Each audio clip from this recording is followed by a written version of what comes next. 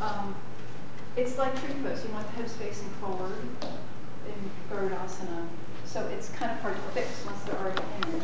But you know, the first thing you're going to do is we'll talk about in lectures. You're going to look and see what's going on. So what I see is she doesn't have the foot hooked around, and not everyone can. I see the hips are a little bit twisted.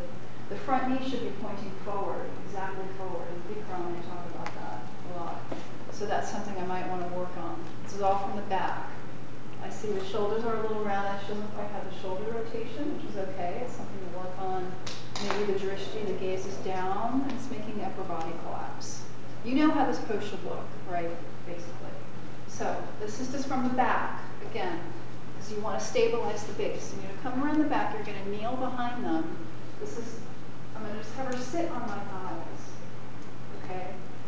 Can also straddle the student. She's too tall for me to do and, ha and have your legs around the sides. But I usually do this. I just have them sit. I'll just say, just sit into my thighs. You see that?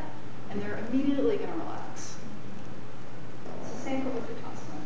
Then, using my hands, are you okay? Yeah. Okay.